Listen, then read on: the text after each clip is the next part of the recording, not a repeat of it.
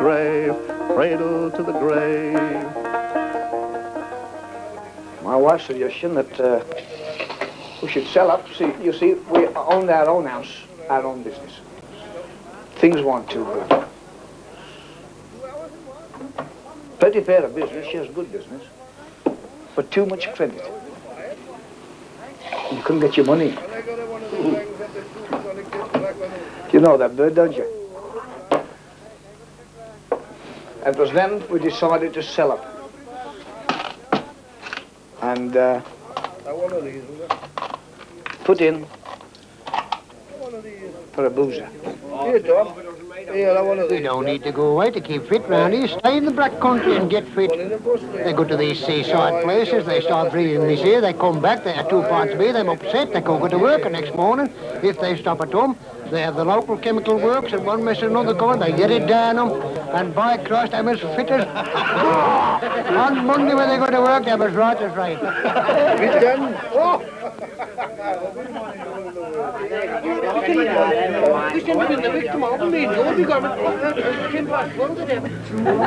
Well, we're just friends, you see, and we meet here.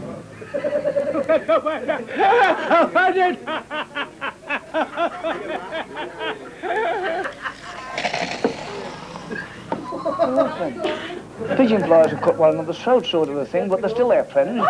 Is that right, Bill? When your grand, old grandfather, when he kept the cross? But beer's life itself.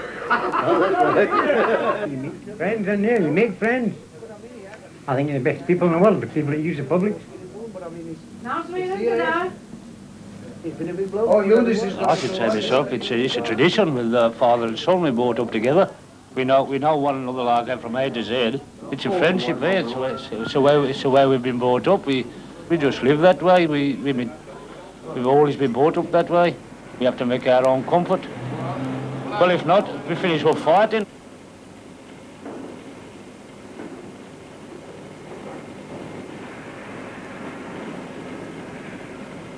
In the West Midlands, uh, I mean, what they commonly call the black country there, but it- it's all manual labour sort of a thing. There, there, there's hard-working chaps. It's, all, it's always been hard work around this part of the country. Very, very few easy jobs. I mean, you've got your collieries, you've got your brickworks, you've got, you've got your ironworks, and all, and all the building trade. It was all hard work, manual labour. Well, that, that was their enjoyment.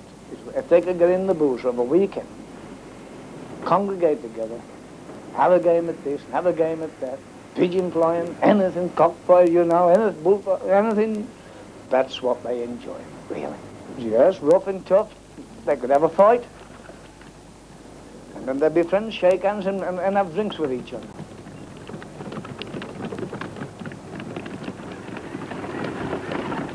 And I'm here with them 8 o'clock at night, biggest part of the time. So they got to be looked after.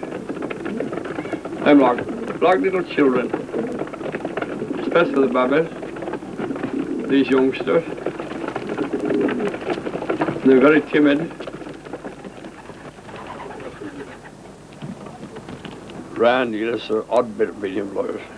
I mean, you all take just round here. One, two, three, the three pens up here. There's one just over here. And there's still just over there, over the back here. There's two or three down below. And they've all got them. Um, we have a bit of a game on a Saturday when they're coming. One goes round one pen what time you're in, one goes round another what time you're in, and, and they all turn in bloody lives when you're in it more or less. It's the best sport. It should have been the best sport in the world for a working chap. Anyway, it's a dear hobby, we'll admit that. But uh, it's better than being in there, being nagged all the while by a wife, I should say myself, if you understand what I mean. I mean the same as some of these fishermen, they only gone fishing to get out the women, more or less. And uh, I should say if there's any liars bigger than a pigeon flyer, it's the fishermen.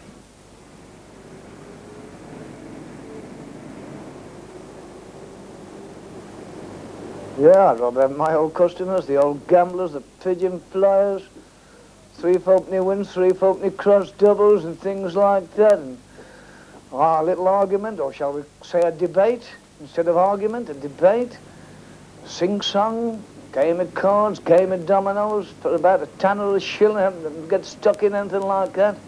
Empty your beer, have a pint. That's, a, that's the sort of lads as I like. Well, you've got to enjoy it. You've got to make your own life. Do any good, you'll be a sportsman and get about. Same as in the army.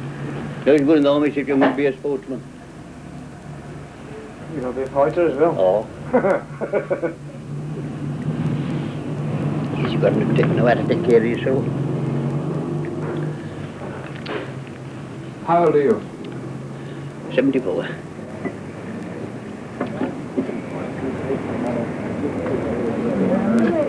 In them days, I'd open six o'clock in the morning till eleven o'clock at night, all day. I don't mind that. He's gone in, he's gone in at six o'clock in the morning. He ain't come out till eleven o'clock at night. Because in them days, a couple, a couple of bob in your pocket, you're, you're landing for the day's drinking.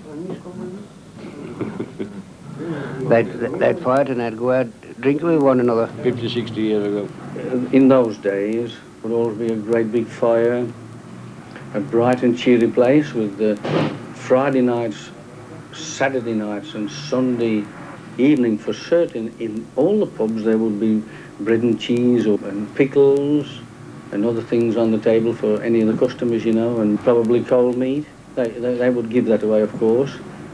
Naturally, that used to bring the, the people into the pubs. They got away from home because the conditions were bad. They'd been hard at work. Most of them had got big families. And I think they got into the pub to forget all the troubles. It was escaping from the home, more or less.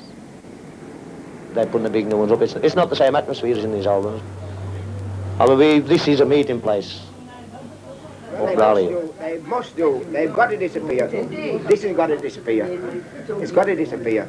See, what ground they own now, they own the ground at the back. Make it for the people, the young folks to come in 20 years' time and walk in, and then walking in the House of Parliament. That's what they've got to do. It isn't old. It isn't old man's world. It's, it's young people's world. But I, You see the way the times is coming today. Every lad 16, he's got his motor car.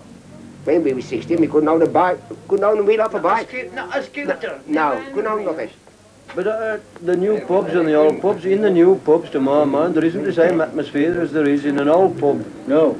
To my mind, there How about old people and forgot? Old people And it, forgot it, it, remi- it reminds me of a story that uh, an old pub had been converted with all its chromium plated, you know, and everything shining.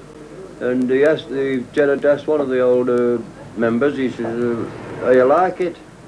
Oh, he says, it's smashing pub, he says, but I miss the old spittoons, he says, the publican turns out. The publican turns out, he says, yes, I missed them when they were there.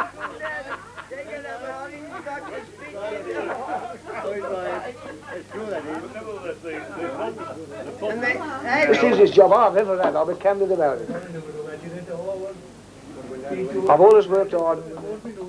Always. I've done 12 hours a day in the iron mill at Penn's on the A's, what we call on the A's, that, that's in the Lye. I've done 12 hours a shift there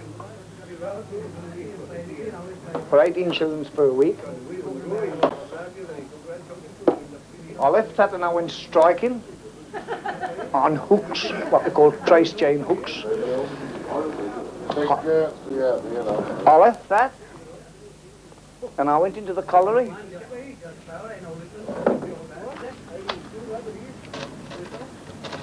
From the colliery, I went away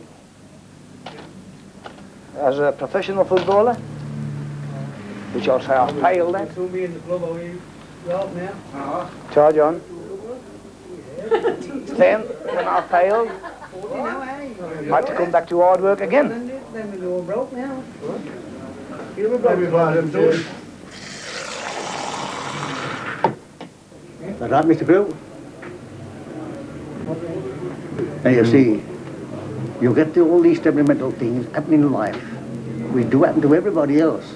Such as now, I lost my wife. Suddenly, I didn't want to, but they took her. And she was a, she was a little woman, they took her. Just to build this